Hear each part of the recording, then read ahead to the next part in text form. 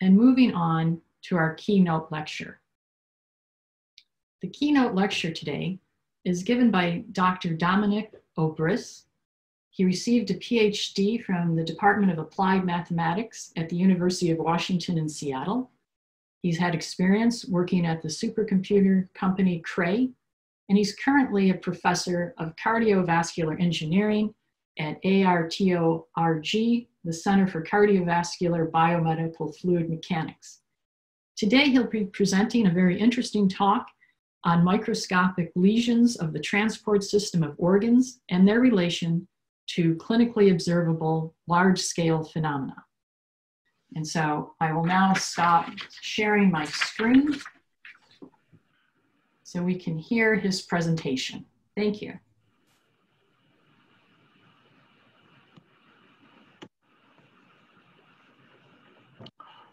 Well, um, thanks a lot, Laura, for the introduction. And uh, I'd also like to thank the organizers for the invitation. And uh, I think at this point, I'd also like to say that I really appreciate the efforts that have been made to get this uh, conference uh, going in these difficult times. So really appreciate it. But now uh, to the topic of my, my talk. Microscopical lesions of the transport system of organs. Uh, what I mean by that are, are possibly blockages of capillaries and similar things.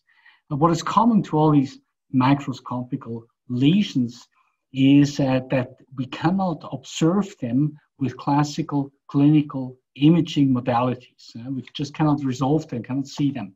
So somehow we need to, to use uh, our tools to, to connect them to large scale observations to make, uh, uh, give the clinicians tools to better diagnose and, and, and treat uh, problems. Why is this important? Well, uh, I will show you in the following uh, five examples of such diseases which are connected to microscopical lesions. Take, for instance, uh, the first example, the microvascular obstruction of the heart muscle. Uh, microvascular obstruction is uh, connected to heart attack. It may occur after heart attack.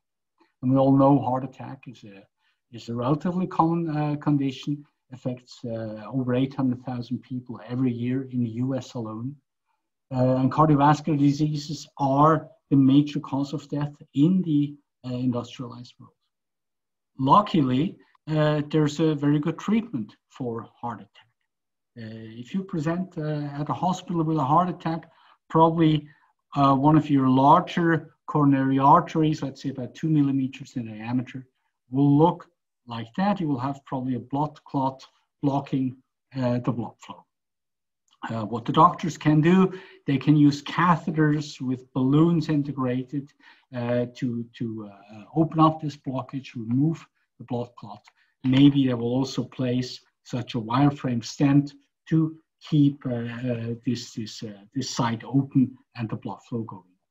So a problem solved uh, well, however, uh, about 40% of all patients uh, do not recover well from a heart attack, uh, even after successful primary treatment. And some may even go into heart failure. And we may ask ourselves now, why is that happening? Why does a successful primary and quick treatment not help these patients? Well, part of that is the microvascular obstruction of the myocardium. And as the name says, it's an obstruction not in the larger arteries, but in the smallest vessels of the microcirculation. We see here on the right uh, histology of a vessel. I think it's approximately 200 microns large. And there's a, a blood clot inside this vessel. So where does it come from? Probably during the primary intervention, um, the primary blood clot fell apart and debris from that blood clot was flushed downstream and obstructed the small vessels. There are also other causes like swelling or edema in the microcirculation that you see here. Now, all these blockages cannot be seen by this image. This is what the, the doctor sees, what the cardiologist sees. It's an X-ray, continuous X-ray. They inject a contrast agent and see the larger blood vessels, but they don't see these small vessels. And the catheters they're using are too big to access these small scale uh, lesions. So we have a scale problem here. But let me give you another example. Small for size syndrome of the liver. The liver is a, is a large organ. It's heavily perfused. There's approximately 20% of the whole bloodstream going through the body. 20% of that goes through the liver itself. If uh, you have a tumor, you have liver cancer with a tumor, there's a, a treatment to that, which is a, uh, which works quite well, and it's liver resection. You cut off a piece of the liver, you cut off the piece uh, uh, with, with the tumor in it. Why does that work? Well, the liver is an organ that can regenerate. The liver will regrow, will grow back to its normal size, original size, in course of weeks to, to months, actually. Now, this only works to a certain limit. You cannot cut off too much. The remaining piece of liver should be, that is a, it's a rough number, it's roughly at least 30% of the original liver. If you cut off too much, the liver cannot recover and you run into the small for size syndrome. Now, again, we can ask ourselves, why is this happening? And uh, we actually participated in a study with uh, visceral surgeons uh, where uh, we used a pig model to study uh, liver resection small for size syndrome. So the liver was heavily resected, 70% and more was resected. And we studied the large scale parameters like the flow through this portal vein here, this blue vein. That's the major vein going into the liver uh, with uh, roughly 1, 1.2 liters per minute uh, flow. Now, uh, you have to think of the liver as a spongy structure. And uh, if you remove um, uh, two thirds of that liver, only one third will remain. And you can imagine that the resistance should roughly triple by doing that. And because you have a more or less constant pressure gradient across the liver, uh, your flow should also decrease significantly after liver resection. And that, that's exactly what happens. You see this plot here, this curve here, uh, see the portal vein flow pre-resection about 1.1, 1.2 liters, post-resection about 0.7 liters per minute. At the same time, the calculated resistance, the transhepatic resistance, increased significantly. That was expected and normal what happened afterward was not expected. Look at hours zero after resection down to, let's say, about 12 hours after resection. The blood flow through the portal vein recovers. Now we get back to normal blood flow rate, even though we have only 30% of the liver left. So this remnant piece of liver is definitely massively overperfused. And that's probably one of the, the issues. And we can dig deeper. If we look at the anatomy of the liver, we see the liver comprises several of these so-called lobules, hexagonal structures. And inside these lobules, there are uh, small uh, uh, uh vessels, uh, some of them called sinusoids. these are like capillary vessels, have approximately 10 microns in diameter, and they are fenestrate. they have little holes in it which are there for the uh, exchange of substances with the surrounding hepatic cells. Uh, what we found is that uh, due to this um, liver resection, the size of these fenestrations increased significantly, doubled or even tripled. And if you look at here, uh, uh, histology of, of, of, such a vessel, you see here in the control these gaps, these are the normal, the healthy fenestrations. And after liver resection, you have these, these huge, essentially torn apart structures. So what we think had happened here is actually that this, this uh, uh, overperfusion of the liver tore apart the structures inside the liver. So again, we have microscopic lesions, but what we can measure and what we can deal with in a clinical situation is large scale. So based on these two examples, I would like to postulate uh, that there's a, a scale challenge in clinical medicine. And by that, I mean that the imaging modalities here in that case, it's the, the fluoroscopy, but the same would be true for a CT or for MRI, that they are just not reaching the resolution that we would need to resolve these small scale uh, uh, structures where the lesions are actually happening. Same is true for uh, surgical tools, uh, for interventional tools like catheters. There's a certain size limit. So what we have is a certain scale gap between the lesion scale and what I would like to call the organ scale here. It's about one to two orders of magnitude. Uh, to get better treatment diagnosis, we need to overcome the scale gap somehow. Uh, one approach, of course, is to miniaturize our tools. That can be done to a certain extent. And to improve the imaging modalities. That is constantly happening. I just, uh, a few weeks ago, received this picture from a good colleague from uh, neuroradiology, and uh, he showed me a scan. This is the same patient on the left and on the right with a, with a massive uh, lesion here at this point. The picture on the left was taken with a three Tesla MRI system, uh, system you commonly find in hospitals nowadays. And on the right, this is a seven Tesla system. So bigger system or let's say more massive system, better resolution. And of course, it's uh, impressive how you can resolve these small blood vessels here or here at the edema. You see uh, cross sections of, of very small blood vessels. But still, the voxel size here, it's about 0.4 millimeters, is still too large to resolve these lesions at microscopic scale. So we can also come from the other end, from the small scale, or as I would like to call it here, the pore scale of organs. So as an example, on the left, this is a, a, an experimental study uh, we did uh, for blood flow in capillaries, or actually microchannels here. They have a width of, uh, let's say, 9 to 10 microns, so similar to capillaries. And these uh, red cells here are actual red blood cells. And you see how they uh, heavily deform. There's particle-particle interaction. Uh, there's, there's fluid particle interaction, complex uh, mechanics. And what is interesting here is to find out, to understand the mechanisms which uh, tells the particles whether they should go left or right, because they carry the oxygen and wherever they go, you will get oxygenation.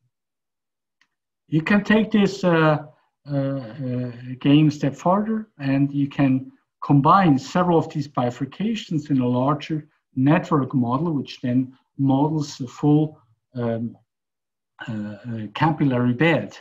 And uh, whatever happens at these single bifurcations has an effect on a network scale.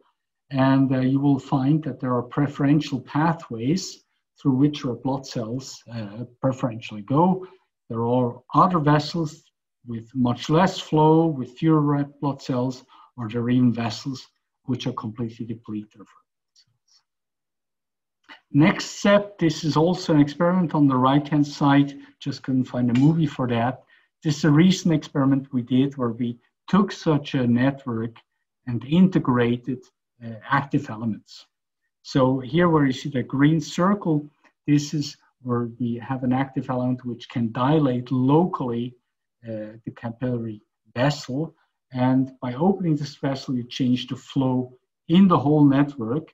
You modify the flow and uh, you rearrange or let's say reshuffle uh, the, the, the, place where red blood cells are, so where the oxygen is going, so which part of the tissue can be oxygenated. You see in the red parts, you have a significant increase, let's say by about 20% of the hematocrit, whereas here on the top part, you have a decrease by, let's say, 15% of the hematocrit. So that's about uh, what you can do on these super small scales, but of course there's also limit uh, uh, going larger, right? I mean, at one point you can barely uh, work with these, uh, with these experiments. So what we really need uh, are multi-scale models I would like to show you uh, an example here of a multi-scale model, uh, one that we developed for uh, this microvascular obstruction condition. So it's a benchtop model. On the left-hand side on this photo, you see a pulse duplicator, which is replicating what the whole heart is doing, pulsating, uh, pushing up blood. And on this uh, white table, you see a lot of tubing, and this is actually a model for the coronary circulation. And in the center, this little box here, this is again a microfluidic chip, which is modeling a small part of the microcirculation where these obstructions are. This is actually on the bottom here, uh, a few photos of, uh, of this microfluidic chips uh, where we do an experiment uh, of infusion of a, of, a, of a, dye to see where, for instance, a, a pharmaceutical agent could be transported to. And the top part is open, so that's where it's flowing in nicely. And the bottom part is, uh, is actually obstructed or partially obstructed. So there's less uh, medication going in. So that's what it can do on uh, an experimental multi-scale modeling. And of course, you can also do it computationally. And this I would like to show you an example of cystic fibrosis of the lung. Cystic fibrosis is a congenital disease. It's a chronic disease progressing over many years. Um, it leads to the formation of mucus inside the small airways. And uh, it's desirable to diagnose this disease very, very early, already at infant stage, because then uh, um, treatment can be very effective. The problem is that at infant stage, um, it's very hard to detect this, this illness because the mucus uh, has not yet formed, right, luckily, but uh, uh, the, the, obstructions are only in the really smallest airways. And these airways are, of course, not accessible by common tools, and, and the doctor cannot see. So, what uh, pneumologists are, are doing to, to, to study uh, condition of lungs of the smallest airways is to use a so-called multiple breath washout. Uh, what is this? A multiple breath washout uh, uh, measures the concentration of nitrogen in the exhaled air. So uh, if you're breathing normally, your lung will be filled with normal air. Nitrogen is more or less an inert gas. So there will be on, well, not on average, there will be 78% of nitrogen uh, everywhere in your lung. And this is depicted in this model by the red color. So that's 78% nitrogen concentration. This is a graph model. Uh, it has a, a, fractal geometry. And at the end, we place these trumpet-like structures to model like the, the, the acinar structures with the, this uh, porous-like uh, uh alveoli in it. they have certain mechanical properties that can be modified. Here is the inhalation. The patient who is being tested puts such a device in his mouth, and, uh, and there's a flow sensor in it and the sensor for nitrogen. So as the test is starting, the patient inhales pure oxygen, so no nitrogen anymore. Maybe start the simulation or the animation. So you see in blue, blue is 0% nitrogen or 100% oxygen. And you see that with every inhalation, you inhale the oxygen, and with every exhalation, you exhale part of the nitrogen that is left in the lungs. So with every breath, the lung is more and more washed out of nitrogen. And you see that the nitrogen concentration is decreasing. Uh, it's relatively heterogeneous because that's how the lung is, is formed. And what the doctor is actually seeing, the doctor, of course, not seeing what's happening inside the lung. What the doctor is seeing is only this curve. This is the concentration of nitrogen in the exhaled air. And you might also notice here that uh, uh, there's, a, there's a region here where it's still red. This is actually a, a little obstruction that we included in one of the, the airways um, uh, to, to create, a, to model a, a, little lesion here. And this is a pocket where the nitrogen is sitting longer. And of course, this will modify the shape of this curve. And it's not only the overall, the global shape of this decay, which is uh, roughly exponential. You can also look at the single exhalations, right? You can zoom in into one of these exhalations. Let me do some next slide. And you can discriminate different phases of the exhalation, and especially the phase three, which is related to the air exhaled from the lowest part of the lung is of interest for cystic fibrosis diagnosis. Uh, what doctors are measuring is usually the slope of this phase three. And we use this forward model here that I showed you to do a parameter study, right? Classical study you do with a forward model, you modify parameters and you see what effect it has on the outcome at the mouth. Now, this works all pretty well and it's, it's cool for our understanding at the same time. That's not really what the, the doctors are looking for. They would like to say, I have this, uh, this, this result from my test, tell me where the lesion is. That's what they usually are asking. So we somehow need to turn this around. We need to uh, uh, get some parameter inference. To introduce this concept, I would like to show you my fourth example, arteriovenous malformations.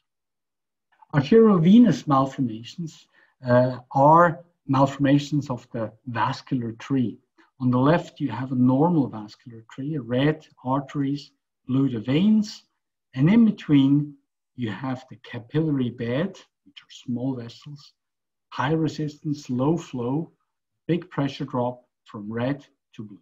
Now, that's normal.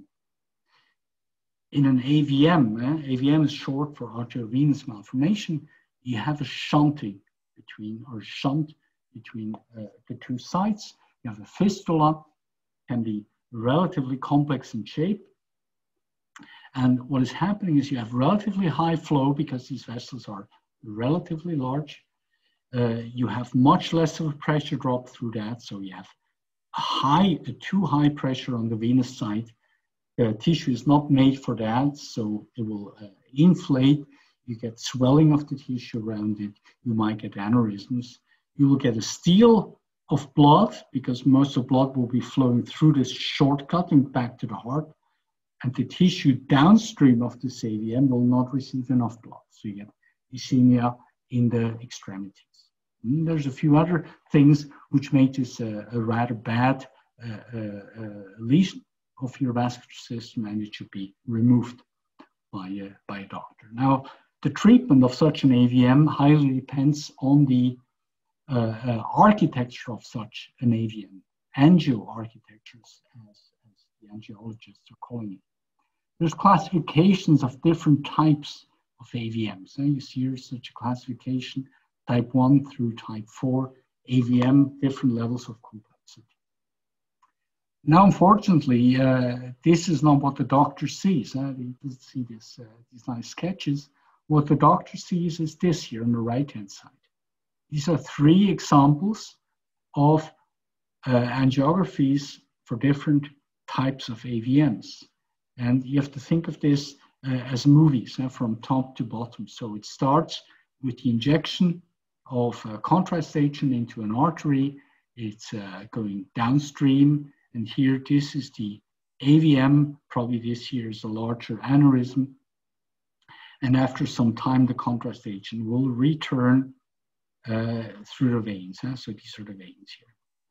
And uh, a well-trained doctor will be able to watch these movies over and over again and uh, will be able to uh, infer just from seeing these movies what type of AVM this is, depending on how the contrast agent is returning, how diluted it is, how much time it took for the contrast agent. This is really art for a well-trained uh, doctor. Now we try to get a bit more deterministic and to build a, a model of that, we uh, essentially did a lump parameter model of this vascular tree.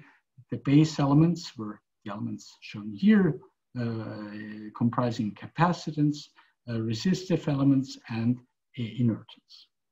And uh, we put them together into a, a full body model, starting here at the heart, going through the unaffected part of the body, through the capillary bed here and back on the venous side back to the heart.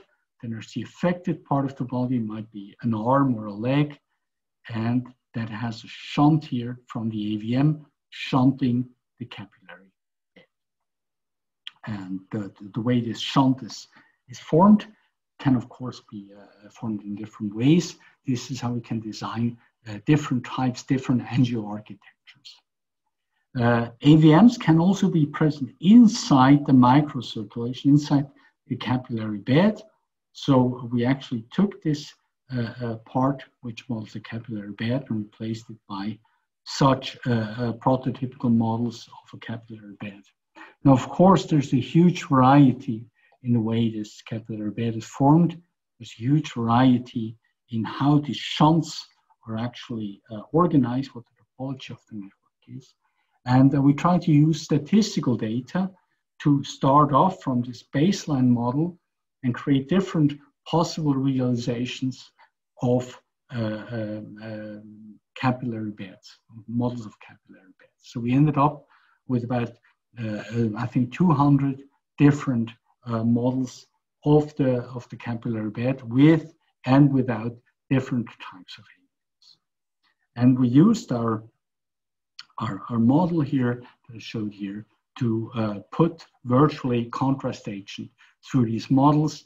We had a certain input function shown here in red. That's like the bolus uh, of, of, uh, of, contrast agent injected, and we check what comes out on the other end. And of course, depending on how the, the, the, the, uh, the uh, architecture of the, the capillary bed is, is, is organized, you get different results. More delay, less delay, more dispersion, less dispersion.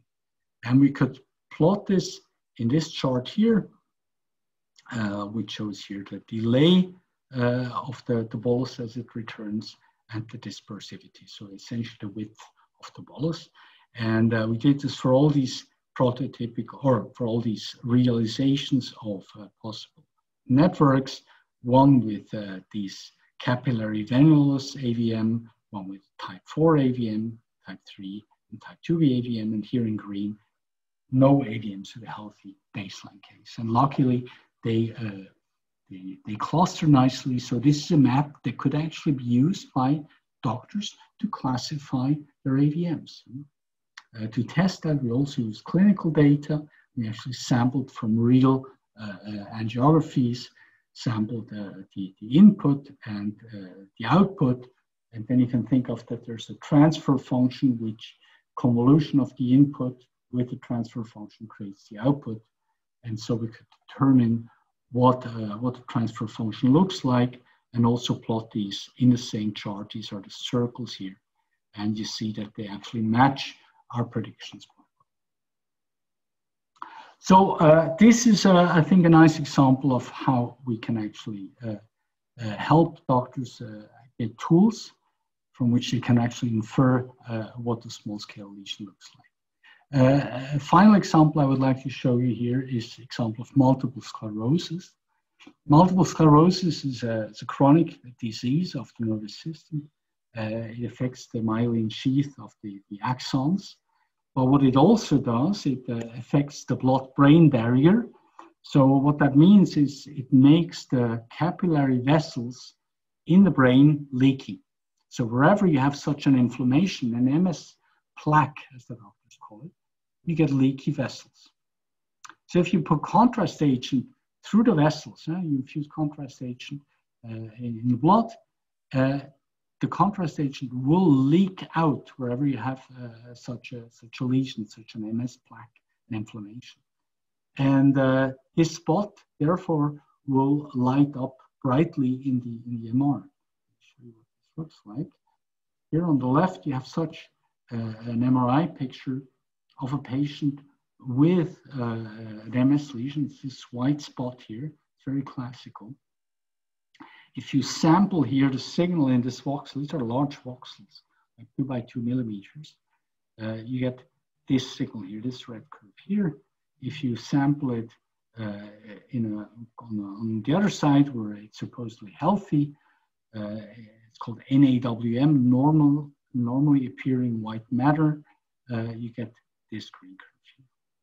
And the question is, can we produce a tool which allows the medical doctor to take these two curves and directly infer from the curve how leaky, quantitatively, how leaky the capillaries are, because the leakiness gives a direct information about the state of inflammation of the lesion.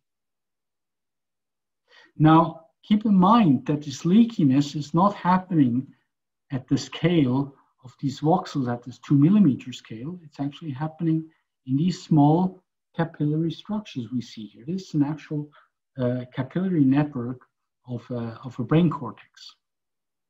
And you see these vessels, here's a zoom. This is one of these vessels. They're approximately five microns wide. And so we have a huge scale gap.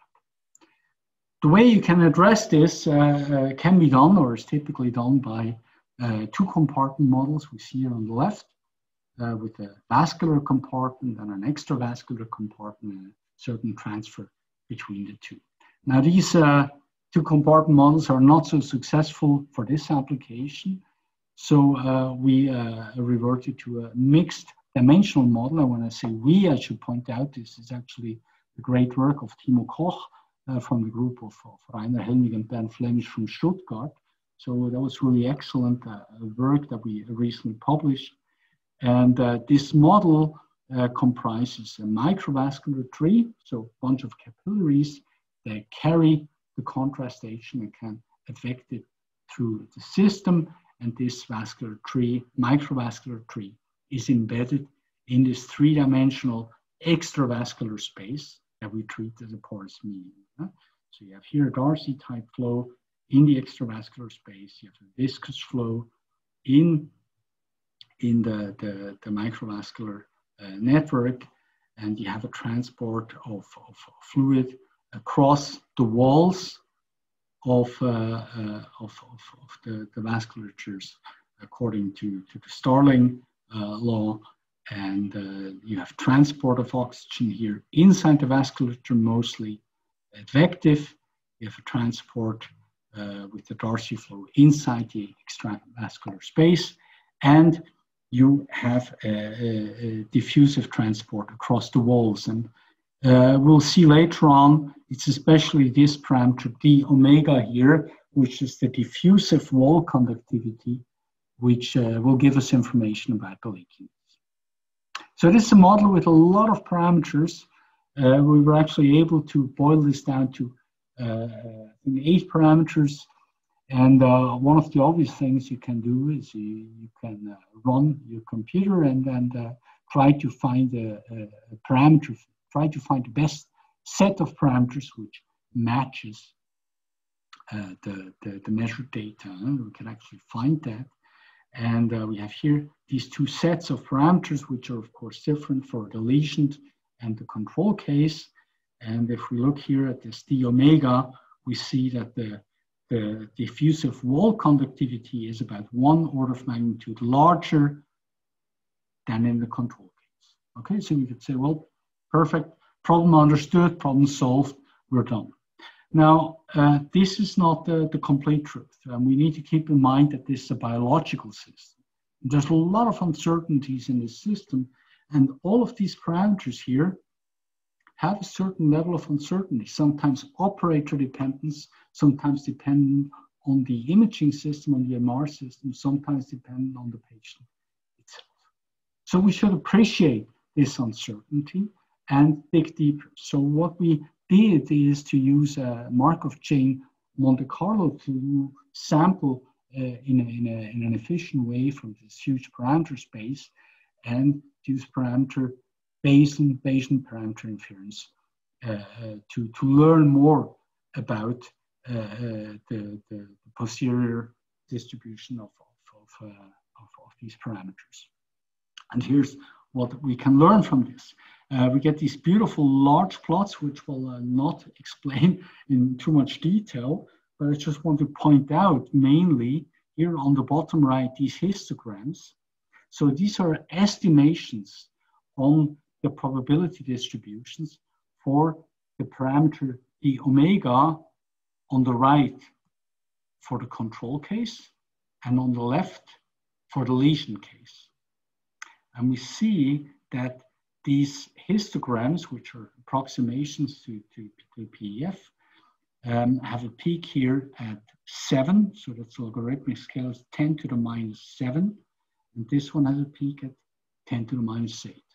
Or let me maybe pull out these two histograms and put them side by side. So this is the same histogram for the lesion case, peaking somewhere around 10 to the minus 7, and here peaking around 10 to the minus 8 and much broader. So these are approximations or estimations for the probability distribution for this parameter given the prior that we have measured either this curve or the other.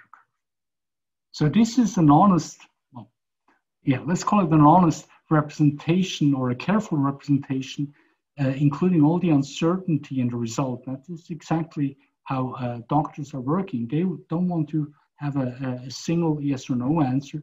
They want to understand how probable it is that it's one way or the other. So let me uh, uh finish and, and, summarize here. So what have we done? We have a multi-scale uh, model of a, of disease, and we have used it to be able to directly infer from clinically observable data something about local microscopic parameters, namely the leakiness of a vessel, can really quantify now in a probabilistic sense what the leakiness of these vessels are. What are the take-home messages? There is a scale challenge in clinical medicine. Currently, our interventional tools are unable to access the microscopic lesions, and the diagnostic modalities, the imaging modalities, are unable to resolve them. This will remain like that for, well, probably quite a while. We should use multi-scale modeling of organs to close this scale gap. But at the same time, we should use these multi-scale models in combination with parameter inference methods, methods of uncertainty quantification, to respect A, the inherent uncertainty of biological systems, and B, to provide clinically meaningful data. So uh, with that, I would like to close here and uh, thank you for your attention. Thank you, Dr. Obrist. And now Carolyn's going to see if there's questions for you. Hi, yes there are. Oh, I have a just a second.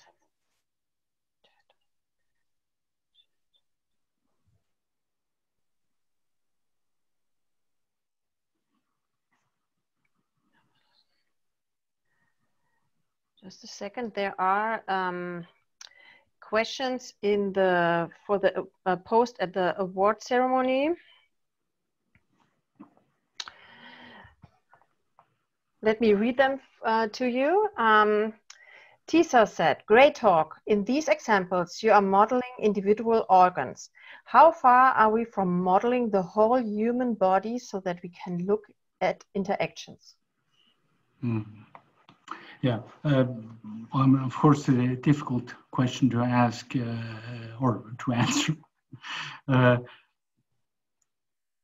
Uh, I don't. I, I would, would actually return a question: How meaningful would it be to to model the whole body?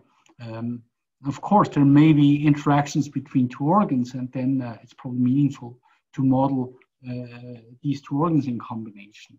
But to model the whole body, uh, it might be a, a, great challenge from a modeling point of view and computational point of view. But I'm not sure we can learn that much. And if you look at these models a bit more closely, you will see that uh, we we always had to make a lot of idealizations and simplifications, which were okay for that very specific disease we wanted to study, but which may not be okay as soon as we step out to the left or to the right of the, the question. So maybe a simple answer, I think we're very far away. Uh, at the same time, I don't think we should really strive to create this single big model of the whole body. We should always try to have specific models for specific disease. Okay. Thank you. Then there's another question from Fred Vermolen. He says, thank you for your nice talk. Uh, he has a question concerning slide 29 and uh, he asked, do you estimate? Slide 29. Let me see if I can unmute him. Okay, he should be able to unmute himself and speak if you would like to elaborate. Right. Uh, can you hear me now? Yes, we can hear you. Oh, yeah. Well, thank you very much for your very nice talk, uh, Dominik. Um, really exciting. Uh, the things that you are doing, and it's very similar to what we are doing, in fact, um, but for some different applications. In particular, what I also like is the statistical approach, the Bayesian parameter interference inference. So I really appreciate that. So I was actually wondering. Um, so at a certain point, you um, you you construct a histogram, right? In mm-hmm. in slide twenty nine. Yes. And yeah, my question is: Do you do you also um, um estimate the, the, the cumulative uh, probability distribution from this histogram? Uh, cumulative probabilities of, of what? Um, of, yeah, well, you have this histogram. I, I do not recall what kind of um, um, uh, result you had over there. So it was a histogram for something, right? I don't recall it anymore. Yeah, it's uh, it's this uh, uh, diffusive wall conductivity. It's actually I just pulled out uh, that that histogram here. I mean, of course, uh, for a careful analysis, you would need to look at all histograms and also yeah. cross correlations. And I, I just simplified here a bit and then just pointed out the, the most relevant one. Yeah, and are you are you also interested in things like uh, uh, probabilities or a probability for, for a failure or or success of uh, treatments of therapies? Um, let me think. I mean, we we well, simple answer is no. We have not looked into that. Uh, whether I'm interested in it or not, uh, let me be honest. I have not thought about it uh, we have not come across uh, this, this, this way of asking the question yet. But uh, I'm, I'm confident. I, uh, well, you probably know it uh, as, as well as I do. Whenever we deal with uh, with with with biological systems, we have to respect the uncertainty. And I believe in your in your plenary lecture, you also mentioned that, and you sure, yeah, results going exactly that direction. So I I think we need to use these tools. Yeah, sure. Yeah, yeah. Okay, thank you. Thank you. So far, there are no um, additional questions in the Q&A chat. So please, if you have any questions, um, type them uh, in Q&A, either to the award ceremony or um, the keynote. I, I had a question. What was your what was your micro model made out of? What was the substrate material? Uh, substrate material of which? Uh, the one where you showed us the experimental setup for the heart. I think it was the heart. Um, oh, okay. You mean the, the physical, the, the, the microfluidic chip? Yes. That's yes. silicon. So. Okay. And then the fluids were what? Uh, well, depends. Uh, so in the simplest case, we just use water um, we also use a mixture of glycerin and, and, and water to, to model the, the viscosity because uh, you're in a, uh, in a range where the Reynolds number is small, but maybe not so small. So you might have very small inertial effects. And so it matters if you infuse water, you might get some small inertial effects, or if you infuse uh, blood or something with viscosity of blood, where then you run into the, the, the domain of, Stokes law. And then do you worry about the uh, fluid solid interaction, uh, you know, uh, let's say water to silicon versus water and human tissue? Yeah, yeah. And th this is certainly a, a, limitation of these models, right? So uh, we have silicon because it's known to, to work well with the red blood cells. Mm -hmm. Assume you're addressing also red blood cells. Red blood cells uh, are, are very delicate uh, creatures. If they become unhappy, they will change their shape. They will uh, resist deformation. They will become echinocytes, stomatocytes. So you have to treat them really well. And apparently, uh, a combination with silicon is something that they like. Wow. But, uh, uh, to, to become better, I mean, the next steps, and some groups are doing this already, they're lining their microchannels with endothelial cells. Wow. Okay. okay, so there is another question asked by James McClure. He is asking, one of the suggested mechanisms for COVID-19 inflammatory response is the role of bradykinin in causing excessive permeability in the vascular system. Can mechanistic modeling offer insights here? I, I love that question. I, to be honest, uh, we, we had quite a few brainstorming sessions in my group because I realized, well, this is now way to go if you can put COVID-19 on a proposal. That's a, it's a good thing. Um, to be to be honest, uh, we couldn't come up with a with a meaningful experiment where we could add to, to the knowledge. But uh, I certainly agree with you. I mean, there, there's something in there, and there are all these results uh, the problems of COVID-19 can be related to problems in the microvasculature. To be honest, I do not know enough about it to, to really be able to say what we could do with our with our platforms. So there is yet another um, question. It's from Lilith Yansarian. Uh, she's um, saying, wonderful talks. Thank you, Dominik. You had a slide with a diagram with symbols like electrical circuit diagram. Yes. Could you please explain how it is constructed? Yes, I can do that. Um, so essentially, you can uh, uh, you can start off with with Navier-Stokes equations, and then you can uh, um, bring them down to to one day and then you can uh, uh, make a few simplifications. Let me see where this slide is. So eventually you, you can end up, I mean, if you have a simple viscous flow through a straight tube, you can always replace this just by uh, a, a simple resistance element. And if you uh, want to respect pulsatility, uh, you have to include the inertance. So this is this element here. So there's certain, uh, uh, let's say, uh, electrical analogous. And the capacitance comes in because the vessels are compliant. Mm? So the vessels can inflate and can store some blood or, or can, can release some blood. So this is the electrical equivalent circuit of a single simple uh, uh, uh, flow, laminar flow, unsteady laminar flow in a vessel with compliant this is not our invention. Uh, this is, uh, uh, many people are, are using these, these models. So at the moment, I don't see any additional questions. Please, if you have questions, put them in the chat.